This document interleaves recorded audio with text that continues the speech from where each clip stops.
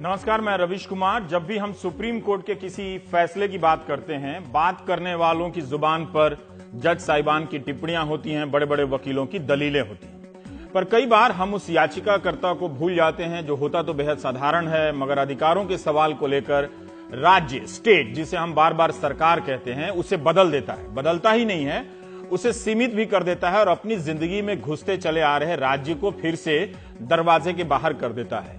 इनमें से बहुत सी लड़ाइयाँ आज़ाद भारत में पहली बार लड़ी गईं और बेहद साधारण वकीलों की मदद से, बेहद साधारण लोगों के द्वारा। मतलब जिन वकीलों का कोई खास नाम भी नहीं था। 1950 में जब भारत का संविधान लागू हुआ, तब उस वक्त राज्य का जो ढांचा मौजूद था, उसके लिए भले ही कुछ नया ना बदला हो क्योंकि वो ब्रिटिश विरासत की देन थी सारी इमारतें, मगर लोगों के लिए काफ़ी कुछ बदल गया। उन्हें जो अधिकार मिला था, उस अधिकार के सहारे और उसे बरकरार रखने के लिए वे हाईकोर्ट और सुप्रीम कोर्ट तक पहुँच गए। उन्नीस में 17 एकड़ की ज़मीन पर सुप्रीम कोर्ट की इमारत बनी तो बनाने वाले के दिमाग में यह बात रही होगी कि यह इंसाफ की सर्वोच्च और अंतिम संस्था है जो इस इमारत की भव्यता से नज़र भी आती है। गणेश भिकाजी देव, देवलालीकर इसके आर्किटेक्ट थे जिन्हें लोक निर्माण विभाग का पहला भारतीय प्रमुख होने का मौका मिला। इसके पहले सुप्रीम कोर्ट संसद भवन की उस इमारत में चलता था जहाँ रजवाड़ों के राजा बैठ के किया करते थे। इसी सुप्रीम कोर्ट के तहखाने में इसके फैसलों का रिकॉर्ड रूम है, जहाँ फैसलों की कॉपी, उसके साथ नथी किए गए सबूत, याचिका की कॉपी, याचिका की भाषा, कई प्रकार के रिकॉर्ड मिलते हैं। जमाने तक इस रिकॉर्ड रूम तक कोई स्कॉलर नहीं गया, क्योंकि यहाँ जाने की कोई व्यवस्था नहीं थी। जैसे अगर जाना हो तो आप अनुमति किससे लेते? यही साफ़ नहीं था। रोहित डे पहले स्कॉलर होते हैं, जिन्हें 2010 में सुप्रीम कोर्ट के रिकॉर्ड रूम में जाने का मौका मिलता है। 1950 में जब संविधान लागू हुआ, तब अंग्रेज़ी में लिखे गए उस संविधान से क्या भारत की जनता भयभीत हो गई थी? उसे बनाने वाले लोगों की छाप की हैसियत, जो हैसियत की छाप थी, क्या ऐसी रही होगी कि उन्हें लगा होगा आम जनता को कि संविधान लागू हुआ है तो इसे समझना, इसे लेकर लड़ना, इसके बारे में बातें करना आम लोगों की बस की बात नहीं है। क्या ऐसा हुआ होगा कि लोग अदालत तक जाने से कतराते होंगे? जो अभी भी ब्रिटिश हुकूमत की बनाई इमारतों में चल रही थी ऐसा बिल्कुल नहीं हुआ। दरअसल रोहित डे की एक किताब आई है, a people's constitution, the everyday life of law in the Indian republic. यह किताब इस मायने में रोचक है कि इसमें वकीलों और जजों की कथा नहीं है, उनकी विद्वता और फैसलों में शेक्सपियर के नाटकों के कोर्ट की चर्चा कम है। उन आम लोगों की बात है जो संविधान लागू होने के कुछ ही दिनों के भीतर अपने अधिकारों की मांग को लेकर कोर्ट गए। हम यह तो जानते हैं कि 1950 में संविधान लागू हुआ मगर यह बहुत कम लोग जानते हैं कि लोगों ने उस संविधान को कैसे अपनाया, अपने अधिकारों को लेकर कैसे आजमाया और स्टेट को कैसे समझा दिया कि आपकी हदें क्या हैं। पश्चिमी यूपी के जलालाबाद का मोहम्मद यासिन सुप्रीम कोर्ट आ गया क्योंकि जलालाबाद की नगर पालिका ने तय कर दिया कि एक ही आदमी को सब्ज़ी बेचने का लाइसेंस मिलेगा और वो किसी हिंदू को दिया गया। यासीन ने केस कर दिया कि यह सबकी आजीविका के अधिकार पर हमला है। कैसे किसी एक को ही लाइसेंस मिलेगा और वो भी मज़हब के आधार पर?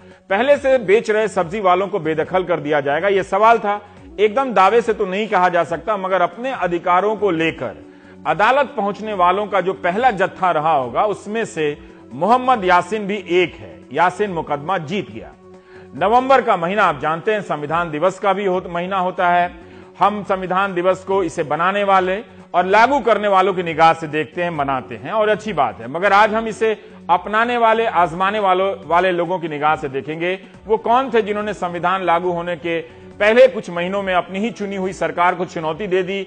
वे पहले ही महीने में याद दिला रहे थे कि ठीक है, हमने इस सरकार के लिए डेढ़ सौ साल का संघर्ष किया। इस सरकार में वही लोग हैं जिनके पीछे हम चला करते थे, जेल गए, लेकिन संविधान की भावना लोगों की भावना होती है। इससे समझौता नहीं करेंगे। हज़ारों की संख्या में लोग अपने अधिकारों के हनन के सवाल को लेकर अदालत पहुँच गए थे। यह संख्या देखकर नहीं लगता कि भारत की जनता ने अपने जीवन में कभी संविधान देखा ही नहीं था। पहली बार संविधान देख रही थी। वो भी स्टेट के खिलाफ मुकदमों की संख्या काफ़ी बढ़ गई। 1950 में सुप्रीम कोर्ट में 600 से अधिक रिट याचिकाओं की सुनवाई हुई, जबकि उसके पहले ब्रिटिश फेडरल कोर्ट ने 11 साल में मात्र एक सौ उनहत्तर केसों को ही सुना। फेडरल कोर्ट ऑफ़ इंडिया उन्नीस सौ सैंतीस में बना, जो सिर्फ़ तीन जजों से चलता था। उन्नीस सौ बासठ तक सुप्रीम कोर्ट में सुनी जाने वाली याचिकाओं की संख्या तीन हो गई। इन्हीं 12 सालों में अमेरिका की सर्वोच्च अदालत ने मात्र 960 केस ही सुने गए। अमेरिका की सर्वोच्च अदालत उस वक्त का उसका इतिहास 100 साल से ज़्यादा हो चुका था। अदालतें रिट याचिका पर फैसला सुनाते हुए सरकारों को दनादन निर्देश देने लगी जिसके कारण सरकारों के भीतर बेचैनी बढ़ी कि ये तो जन, अपनी ही जनता है जो हमारे खिलाफ केस करने लगी है। यही नहीं, भारत की वह साधारण जनता बड़ी संख्या में स्टेट, यानी सरकार से मुकदमा जीतने भी लगी। क्या यह सुंदर और दिलचस्प नहीं है कि संविधान लागू होने के कुछ ही हफ्तों और महीनों में इसे लोगों ने अपना लिया और उसके लिए जीने मरने लगे? पंद्रह साल के भीतर दो तिहाई मुकदमों में नागरिक और सरकार आमने सामने हो गए। 40 प्रतिशत से अधिक केसों में लोग सरकार से मुकदमा जीत गए। तीन हज़ार दो सौ बहत्तर फैसलों में से चार सौ सत्तासी में सरकार के बनाए कानूनों की वैधता को चुनौती मिली और लोग जीत गए। दुनिया में उस वक्त ऐसी कमी सरकारें होंगी जो जनता के सामने अपने बनाए कानूनों का बचाव नहीं कर सकी। सुप्रीम कोर्ट के रिकॉर्ड रूम में न जाने कितनी बातें बाहर आने के लिए बेताब हैं। इन याचिकाओं के ज़रिए जब लोगों के किस्से बाहर आएँगे, तब संविधान लोगों के बीच दिखने लगेगा।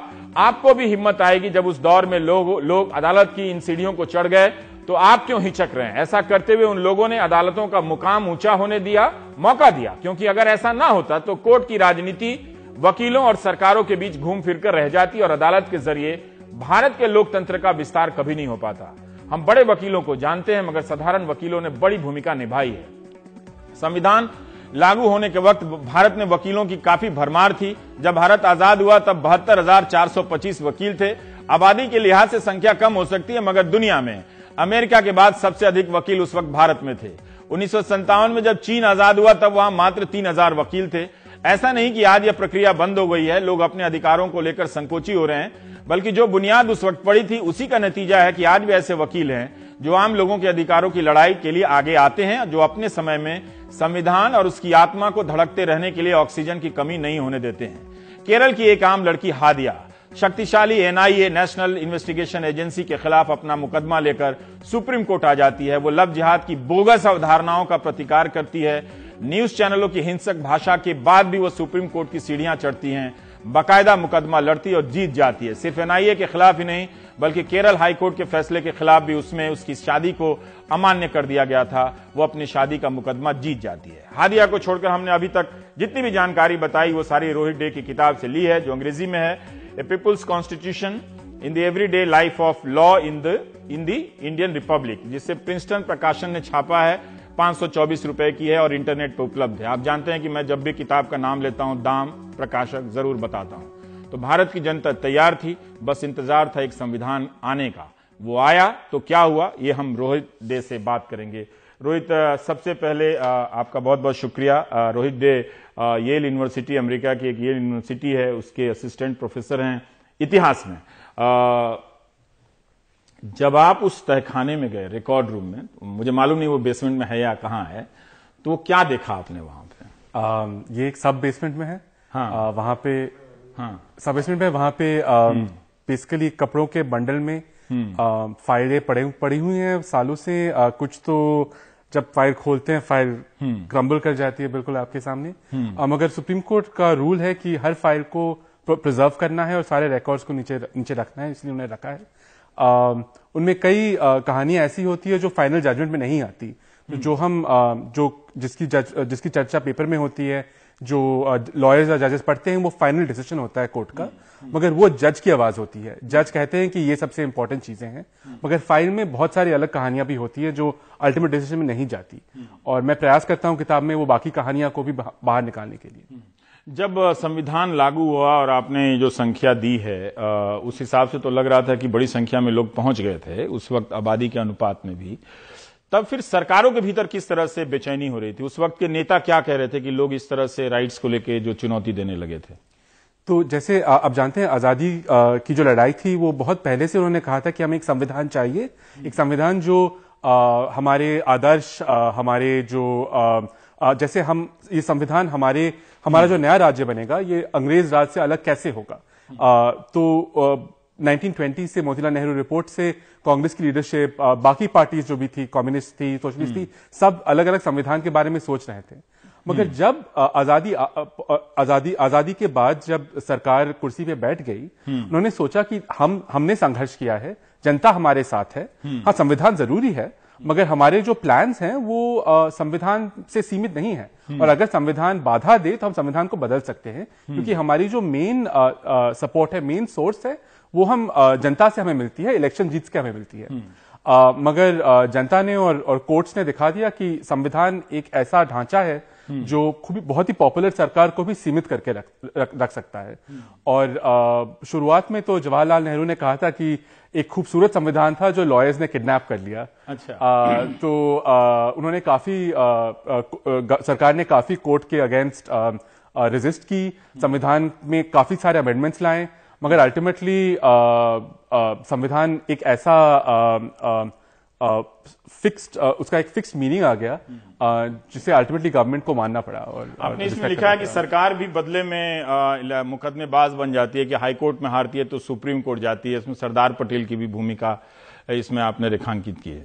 जी बिल्कुल। जो केस आप जो दफ़ा कर रहे हैं वो प्रोहिबिशन हम्म। के बारे में है तो हाँ, शराबबंदी हाँ, शराबबंदी। हाँ, और जिस जिससे कांग्रेस का एक मेजर मैनिफेस्टो का पॉइंट था हम्म। संविधान में भी लिखा गया था कि हमारे जो सिद्धांत थे उनमें से शराबबंदी एक सिद्धांत है हम्म। और महाराष्ट्र के गवर्नमेंट था बॉम्बे स्टेट था उन्होंने एब्सोल्यूट प्रोहिबिशन लागू कर दिया था अब एक तरह से देखा जाए तो प्रोहिबिशन अल्कोहल पे बहुत लोग सपोर्ट कर सकते हैं हेल्थ के लिए अच्छा है इनकम्स हम्म। के लिए अच्छा है मगर जैसे वो इम्प्लीमेंट करने लगे आ, उन्होंने पुलिस को बहुत सारी पावर्स दे दी हम्म। जैसे एक एक साल के अंदर एक दो साल के अंदर आई थिंक सत्तर हज़ार लोगों को, को अरेस्ट कर लिया गया प्रोहिबिशन ऑफेंस पे। हाँ? उस वक्त। उस वक्त बॉम्बे प्रेसिडेंसी में अरेस्ट हो। गए। और ये अरेस्ट इसलिए नहीं कि आप शराब बेच रहे थे या आप कुछ इलीगल कर रहे थे। हम्म। अगर आपके मुँह से शराब की बू आती है तो, तो पुलिस कह सकती थी कि आपने शराब पी आपने कुछ इलीगल किया आप जेल जा सकते हैं। हम्म। तो इसी वजह से कुछ पब्लिक स्पिरिटेड जर्नलिस्ट थे जो सुप्रीम कोर्ट बॉम्बे हाईकोर्ट गए। उन्होंने कहा कि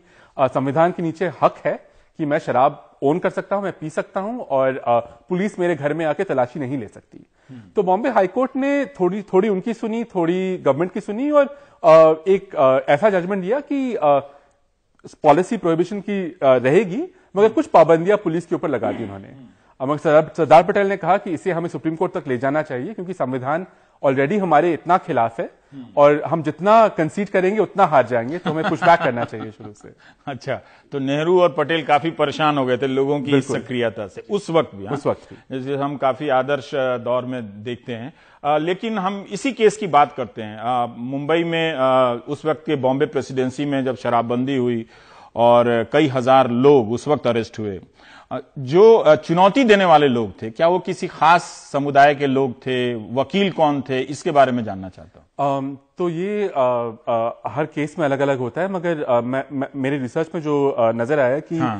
ज़्यादातर जो चुनाव चुनौती आती थी प्रोहिबिशन केस में वो पारसियों से आती थी हाँ। आ, और वो जो इश्यूज़ थे वो जब जैसे आम नागरिक के इश्यूज़ थे हाँ। मगर मुझे ये इंटरेस्टिंग लगा कि ये कनेक्शन कैसे बना एक समुदाय के और एक एक टाइप के कॉन्स्टिट्यूशनल केस के हाँ। और पारसी समुदाय बहुत ही आ, सालों से अल्कोहल हाँ। या शराब प्रोड्यूस और बेचने में उनका कनेक्शन था आ, हम्म। ये आ, आ, काफ़ी आ, आ, जब नशाबंदी लगाई गई तो उनके इकोनॉमिक इंटरेस्ट पे आ, आ, हम्म। उनके बिजनेसेस पे काफ़ी नुकसान था तो इनिशियल केसेस जो आए थे उन्होंने वो पारसी समुदाय के लोग लाए थे हम्म। मगर इनके जो बेनिफिट्स आए वो सबको वो, वो, वो हर कम्युनिटी के लोगों, लोगों को मिले। जैसे बहुत सारे लोग जो अरेस्ट हुए वो मछुआरे थे।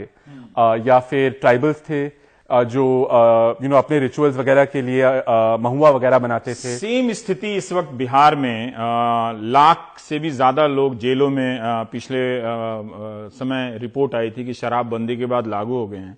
दरअसल बिहार के दरअसल बिहार के मुख्यमंत्री नीतीश कुमार पढ़ते इस पूरी प्रक्रिया को या हम लोग भी जान रहे होते तब शराबबंदी की बहस दूसरी तरीके से हो सकती है तो पता चल रहा है कि सत्तर साल की यात्रा में हम संविधान और उसके इतिहास के बारे में कम जानते हैं।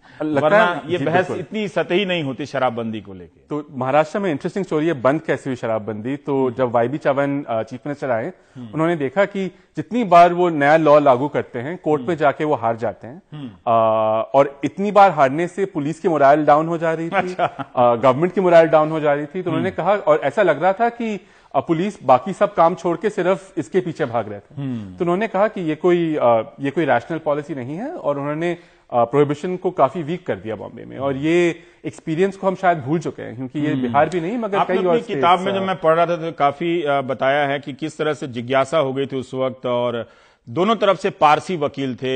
नानी पालखी वाला उस पारसी पत्रकार की तरफ़ से चुनौती दे रहे थे स्टेट को और इस पूरे बहस को सुनने के लिए एक नौजवान वकील का कानून का छात्र भी जा रहा था जो बाद में भारत का आ, बड़ा कानून अधिकारी बनते हैं सोलिसरा सोलिसरा जी। जी जी तो मैं ये जानना चाहता हूँ कि जिस इरादे से इन लोगों ने अदालत में चुनौती दी क्या फैसला वैसा ही आया जिस इरादे से वो गए थे? आ, जो जिस इरादे से गए थे फैसला फैसला उनके उनके उन, उन लफ्जों में नहीं आया। वो गए थे कहने के लिए कि उनके पास हक है शराब पीने का और शराब रखने का। सुप्रीम कोर्ट ने कहा कि वो पूरी हक तो आपके पास नहीं है।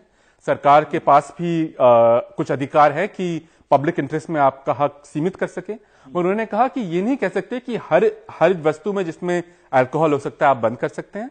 और उन्होंने ये भी कहा कि पुलिस के पास ऐसी ऐसी पावर नहीं है कि वो हर जगह जा सकते हैं। आ, आ, बिना किसी प्रोसीजर के आपको अरेस्ट कर सकते हैं। बिना किसी वजह से आपके घर के अंदर जा सकते हैं। तो उन्होंने उन्होंने पूरे राइट को थोड़े सीमित तौर से तोला और दूसरी बात पुलिस के पावर्स की काफ़ी निंदा की। मगर आ, आ, पूरी केस को सिर्फ़ जजमेंट के नज़र से देखा नहीं जा सकता। जैसे ये केस काफ़ी महीनों तक चली न्यूक्लियर में काफ़ी चर्चा हुआ इससे। जैसे आपने मेंशन किया सोली सराब जी और बाकी कई उस समय के जो छात्र थे कोर्ट जाते थे केस की सुनवाई सुनने। और ये जो डिस्कशन हुआ ये जो सुनवाई हुई उससे आम नागरिक को पता चला कि कि हम गवर्नमेंट को अपोज कर सकते हैं। अधिकार कैसे होते हैं? अधिकार को कैसे आ, आ, आ, अधिकार को कैसे कोर्ट पे लिया जा सकता है? और एक पब्लिक कॉन्वर्सेशन होगी संविधान के बारे में जिससे जिससे एक नागरिकता की जो नागरिक की जो सोच है वो उभर के आ सकती है। आपकी किताब का कोट है इसमें जज साहब एच जे खांडेलकर हैं। और वो कह रहे हैं there are things other than liquor that go to the head and power is one मतलब शराब के अलावा भी सत्ता भी तो एक नशा है। जी एक, एक बहुत, भी बहुत बंदी लगा दीजिए। एक बहुत ही सुंदर कार्टून उस समय शंकर पिल्ले करके कार्टूनिस्ट थे। हाँ। तो उन्होंने बनाया था एक कार्टून जो वहाँ पे प्रोहिबिशन बार लिखा हुआ है। हम्म। और वहाँ पे दिखा रहे हैं कि मोराजी देसाई जो प्रोहिबिशन के काफ़ी शौकीन थे वो और बाकी कांग्रेस नेता बोतल पी के मस्त है और बोतल पे पावर लिखा हुआ है। कि आप पावर ड्रंक अच्छा, हो गए हैं अच्छा। ओ तो मैं ये जानना चाह रहा था कि जैसे ये आपने शराबबंदी का उदाहरण दिया तो पत्रकार हैं, पारसी कम्युनिटी उस वक्त काफ़ी संपन्न थी। जैसे पता चलता है कि दोनों तरफ़ से उनके वकील थे। लेकिन बाकी और जो लोग याचिका करता थे, क्या वो भी इसी तरह से संपन्न थे और इस बैकग्राउंड से आते थे? या भारत के अन्य छोटे छोटे शहरों से भी इसकी चुनौती दी गई थी? या ये सारी घटना दिल्ली, कलकत्ता या मुंबई जैसे शहरों में हो रही थी? ज़्यादातर जो चुनौती आई थी वो शहरों से आई थी गाँव से कम है मगर सिर्फ़ बड़े शहरों से नहीं है काफ़ी काफ़ी सारे छोटे शहर मुफसिल शहर से भी आए हैं। और जो यहाँ पे आप देख रहे हैं जो पारसी कम्युनिटी है मगर दूसरे केसेस में देख रहे हैं कि काफ़ी साधारण बैकग्राउंड से लोग आए हुए हैं। एक जिससे मैं काफ़ी मुझे मुझे देख के काफ़ी आश्चर्य लगा कि आ, एक इलाहाबाद से एक केस है जहाँ पे दो महिलाएँ आए हैं कोर्ट में मुसलमान महिलाएँ जो खुलेआम कहती हैं कि हम वैश्य प्रथा में काम करते हैं। हम, हम वैश्या हैं और संविधान के अंदर आ, हमारे आ, जीने का अधिकार जीने का अधिकार जी। और वो कहते हैं कि अगर ये गवर्नमेंट हमारा पेशा बंद करना चाहती है ठीक है मगर ये अगर बंद कर रही है तो ये नया गवर्नमेंट एक वेलफेयर स्टेट है और गवर्नमेंट को हमें एक एनुअल स्टाइपेंड देना पड़ेगा नहीं तो हम क्या करेंगे? हमारी तो, तो हमारी विवाह जीत गई थी? आ, वो कुछ देर तक जीत गई थी अल्टीमेटली जाके हार गई मगर उनकी उनकी उनके केसेस के वजह से गवर्नमेंट में काफ़ी घबराहट हुई। एक जो सीनियर महिला लीडर्स थी कांग्रेस की उन्होंने कहा कि संविधान को अमेंड करके इन इन औरतों को के हक को हटा देना चाहिए। और एक इंटरेस्टिंग स्टोरी आती कि अगर ये हार गई कोर्ट में मगर उन्होंने नहीं माना कि वो हारी है। तो 1960 में सुप्रीम कोर्ट ने कहा नहीं वैश्याओं के पास ये फुल राइट नहीं है कि वो अपना प्रथा कंटिन्यू कर सके। मगर uh, 1960 से लेके आज तक uh, कई सारे ऑर्गेनाइजेशंस हैं जो सेक्स वर्कर ऑर्गेनाइजेशन हैं जो अभी भी जाके रोड पे डिमांड करती है कहती है कि हमारे पास आर्टिकल 19 के अंदर हक है और एक डिग्निटी के साथ जीने का हक लड़ाई अभी तक जीती नहीं लड़ाई अभी तक जीती नहीं एक बात और आ, समय कम है मैं ये जानना चाहता हूँ कि आ, भाषा मतलब संविधान हालाँकि उसका हिंदी में भी अनुवाद हुआ था लेकिन फिर भी भाषा समझ इससे लोग पीड़ित हुए थे मतलब डरे थे कि ये हमारे बस की बात नहीं है समझना। जी, बिल्कुल, यानी ये अभी भी आई थिंक एक काफ़ी बड़ी समस्या है। संविधान की जो ऑफिशियल वर्षन अभी भी इंग्लिश में है और जो हिंदी में अनुवाद हुआ है, उसका वो काफ़ी औपचारिक, भारी भरकम संस्कृत भरे शब्दों से हुआ है, जिससे आम लोग काफ़ी घबरा जाते हैं। मगर क्योंकि ये जो कोर्ट केस होती है, ये जो काफ़ी पब्लिक नेचर है इनका न्यूज़पेपर में डिस्कशंस होता है हर हर कोने नुक्कड़ पे डिस्कशंस होता है, इसी वजह से ये ट्रांसलेट होके लोगों के आपसी कॉन्वर्सेशन में आ जाती हैं ये शब्द। जैसे जैसे मौलिक अधिकार या जो सिद्धांत जो संविधान में है, वो लोग अपना लेते हैं। बहुत बहुत शुक्रिया हमने रोहित की किताब आपको दिखाई नहीं। ये इनकी किताब है जिसके बारे में हम चर्चा कर रहे थे कि संविधान जब लागू हुआ तो आम लोगों ने उसे कैसे अपनाया और आजमाया, और ये प्रक्रिया तो आज भी जारी है। लेकिन उस दौर में आम लोगों की सक्रियता को देखकर थोड़ी हैरानी भी होती है और अच्छा भी लगता है कि लोग इस संविधान से उम्मीद कर रहे थे और ये संतोष भी होता है कि आज तक इसी से उम्मीद कर रहे हैं। ब्रेक के बाद हम किसी और स्टोरी पर बात करेंगे।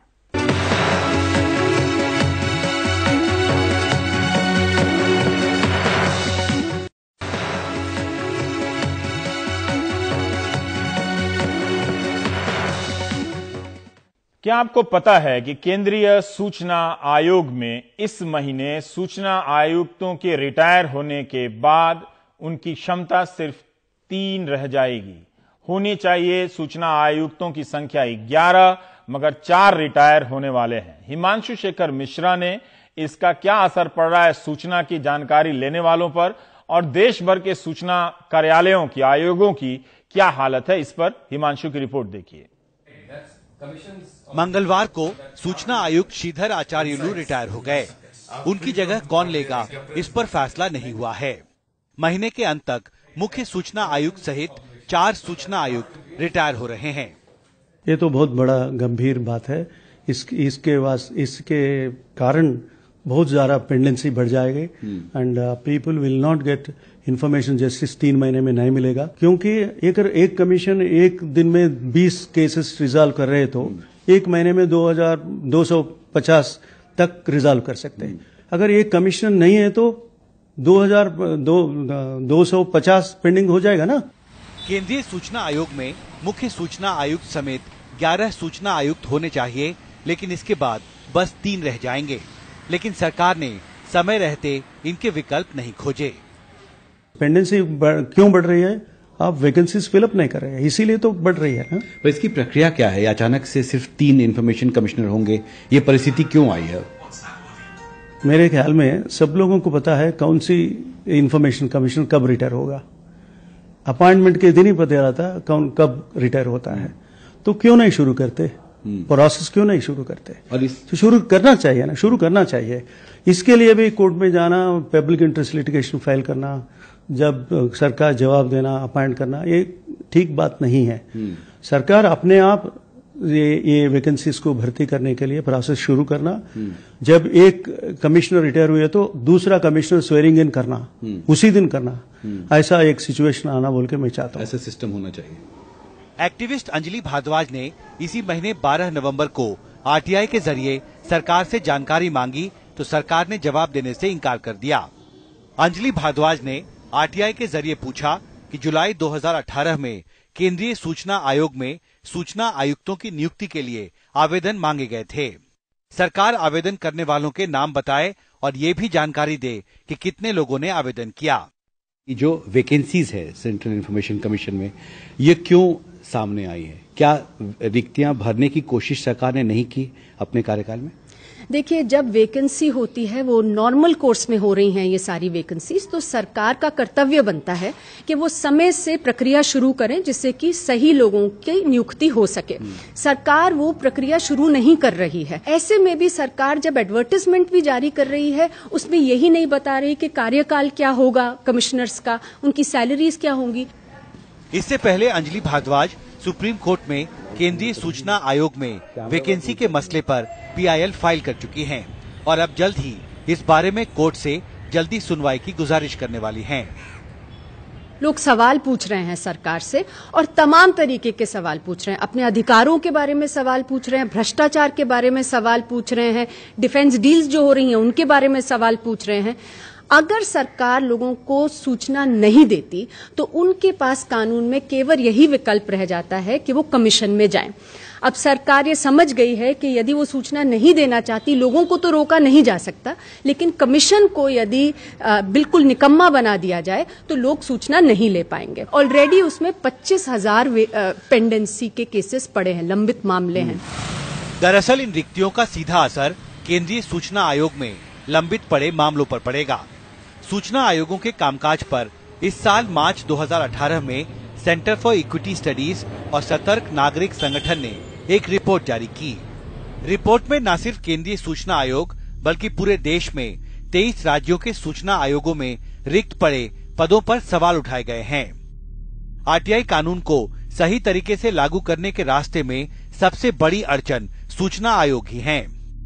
31 अक्टूबर 2017 तक देश के 23 सूचना आयोगों में एक लाख निन्यानवे हज़ार एक सौ छियासी अपील और शिकायतें लंबित थीं।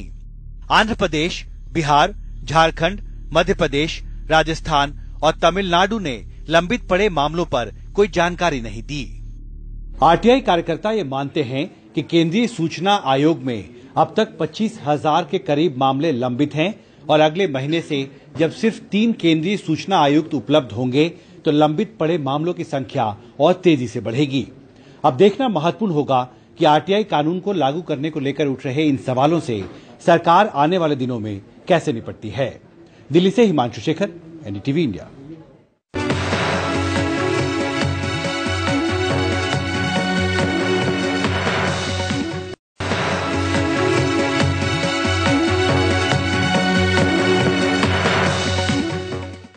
छह महीने बीतने के बाद भी मध्य प्रदेश के ई टेंडरिंग घोटाले में अब तक एफआईआर नहीं हुई है। वजह यह है कि राज्य की आर्थिक अपराध शाखा को जाँच के लिए केंद्र की एजेंसी का इंतज़ार है। प्राइम टाइम में ही हमने आपको बताया था कि टेंडर की यह प्रक्रिया ऑनलाइन थी, लेकिन इसमें बोली लगाने वाली कंपनियों को पहले ही पता लग जाता था कि सबसे कम बोली कितने की है। फौरी तौर पर इस ई टेंडर प्रक्रिया में तीन हज़ार करोड़ के घोटाले की बात सामने आ रही है। यह प्रक्रिया 2014 से ही लागू है और इसके तहत अब तक करीब तीन लाख करोड़ रुपए के टेंडर दिए जा चुके हैं। अनुराग द्वारी की रिपोर्ट। छह महीने बीत गए, प्रारंभिक जाँच शुरू हो गई, लेकिन मध्य प्रदेश के आर्थिक अपराध शाखा ने अब तक ई टेंडरिंग मामले में एफआईआर दर्ज नहीं की है। वजह, ईओडब्ल्यू को भारत सरकार के Indian computer emergency response team का इंतज़ार है। कई खत भेजने के बावजूद कोई अधिकारी हज़ारों करोड़ के इस घोटाले में कंप्यूटर की मिरर इमेज लेने नहीं आया। मंत्री जी हमारे सवाल के बाद जानकारी जुटाने की बात कह रहे हैं। मैं इसकी जानकारी प्राप्त करूँगा। आपने एक नया विषय उठाया है। मैं इसके पूरे तथ्यों की जानकारी प्राप्त करूँगा और जो भी उचित कार्रवाई होगी करूँगा। अब समझते हैं मामला क्या है। तेईस जून को राजगढ़ के इस बाँध से हज़ार गाँव में पेयजल सप्लाई करने की योजना का शिलान्यास प्रधानमंत्री नरेंद्र मोदी ने किया। लेकिन उससे पहले ये बात पकड़ में आई कि ई प्रोक्योरमेंट पोर्टल में छेड़छाड़ कर लोक स्वास्थ्य यांत्रिकी यानी पीएचई विभाग के तीन हज़ार करोड़ रुपए के तीन टेंडरों के रेट बदले गए हैं। मामला सामने आते ही Madhya Pradesh state electronics development corporation के उस वक्त केएमडी मनीष रस्तोगी ने पीएचई प्रमुख सचिव प्रमोद अग्रवाल को खत लिखा और तीनों टेंडर कैंसिल कर दिए। इस खुलासे के बाद 2014 से जारी किए गए हज़ारों करोड़ रुपए के टेंडर जाँच के घेरे में आ गए हैं। मेरे पीछे बनी इस आर्थिक अपराध शाखा ने मुख्य सचिव से मिले खत के बाद मामले में जाँच शुरू कर दी है और सूत्रों की माने तो इस पूरे मामले में कई बड़े अधिकारी, ठेकेदार और ई प्रोक्योरमेंट पोर्टल बनाने वाली दो निजी बड़ी सॉफ्टवेयर कंपनियों पर भी जाँच की आँच है, लेकिन पहले समझते हैं कि पूरा मामला आखिर है क्या। पीएचई ने जल प्रदाय योजना के तीन टेंडर 26 दिसंबर को जारी किए थे। इनमें सतना का 138 करोड़ रुपए और राजगढ़ ज़िले में छह सौ छप्पन और दो सौ बयासी करोड़ रुपए के टेंडर थे। 2 मार्च को टेंडर टेस्ट के दौरान जल निगम के टेंडर खोलने के लिए अधिकृत अधिकारी पीके गुरु के इंक्रिप्शन सर्टिफिकेट से डेमो टेंडर भरा गया। 25 मार्च को जब टेंडर लाइव हुआ, तब इस इंक्रिप्शन सर्टिफिकेट के ज़रिए कथित तौर पर फर्जीवाड़े को अंजाम दिया गया। बोली लगाने वाली एक निजी कंपनी इन दो टेंडरों में दूसरे नंबर पर रही। उसने इस मामले में शिकायत की। शिकायत पर प्रमुख सचिव ने विभाग की लॉगिन से ई टेंडर साइट को ओपन किया तो उसमें एक जगह लाल क्रॉस दिखाई दिया। विभाग के अधिकारियों ने पहले जवाब दिया कि ये लाल क्रॉस टेंडर साइट पर हमेशा आता है। सूत्रों के मुताबिक, राज्य इलेक्ट्रॉनिक डेवलपमेंट कॉरपोरेशन के अधिकारियों से मिले जवाब के बाद जब जाँच शुरू हुई तो पता लगा कि ई टेंडरिंग या फिर ई प्रोक्योरमेंट में अगर कोई छेड़छाड़ करता है तो वह लाल निशान बन जाता है। जाँच में ये भी पता लगा और ये दस्तावेज़ भी बताते हैं कि इस छेड़छाड़ के ज़रिए कोर्ट को भी प्रभावित करने की कोशिश की गई। ये दस्तावेज़ बताते हैं कि इस काम के लिए एक नहीं बल्कि कई डेमो आईडी का प्रयोग किया गया। टेंडर नंबर इक्यानवे, सतना के बाण सागर नदी से 166 एमएलडी पानी 1019 गाँव में पहुँचाने के लिए 26 दिसंबर 2017 को ई टेंडर जारी किया गया। इस योजना में पाँच बड़ी नामी कंपनियों ने टेंडर भरे। टेंडर नंबर तिरानवे, राजगढ़ ज़िले की काली सिंध नदी से अड़सठ एमएलडी पानी 535 गाँवों को सप्लाई करने का टेंडर 26 दिसंबर 2017 को जारी किया गया। चार नामी कंपनियों ने इसमें टेंडर भरे। टेंडर नंबर चौरानवे, राजगढ़ ज़िले के नेवाज नदी पर बने बाँध से 26 एमएलडी पानी 400 गाँवों को सप्लाई करने के लिए 26 दिसंबर 2017 को ई टेंडर जारी किया गया। इसमें सात कंपनियों ने हिस्सा लिया। राज्य सरकार ने अलग अलग विभागों के ठेकों में भ्रष्टाचार खत्म करने के लिए 2014 में ई टेंडर की व्यवस्था लागू की थी, जिसके लिए बेंगलुरु की निजी कंपनी से ई प्रोक्योरमेंट पोर्टल बनवाया गया। तब से मध्य प्रदेश में हर विभाग इसके माध्यम से ई टेंडर करता है। कांग्रेस आरोप लगा रही है कि चुनाव से पहले जानबूझकर इस घोटाले को दबाया जा रहा है, लेकिन सत्ता में आने पर वो इसकी जाँच करवाएँगे। जिस दिन से ये प्रधानमंत्री की योजनाओं से जुड़ा हुआ ये घोटाला सामने आया, उस दिन से ही भाजपा सरकार इसको दबाने में लग गई। क्योंकि कहीं ना कहीं मुख्यमंत्री से लेकर तमाम बड़े अधिकारियों के तार इससे जुड़े हुए और दो तीन विभाग की बात नहीं, सभी विभागों के तार इससे जुड़े हुए एक बहुत बड़ा घोटाला है, व्यापम से बड़ा घोटाला है। लोकतंत्र में अगर घोटाले चुनावी राजनीति से दूर रहे तो अच्छा है, लेकिन साफ़ है कि मध्य प्रदेश चुनावों को प्रभावित कर सकने वाले इस मुद्दे को जानबूझकर लटकाया गया है। हैरत नहीं होगी कि दिसंबर, यानी नतीजे आने के बाद इस महा घोटाले की कई परतें सामने आने लगे। भोपाल से कैमरा पर्सन रिजवान खान के साथ अनुराग भरी, एनडीटीवी इंडिया।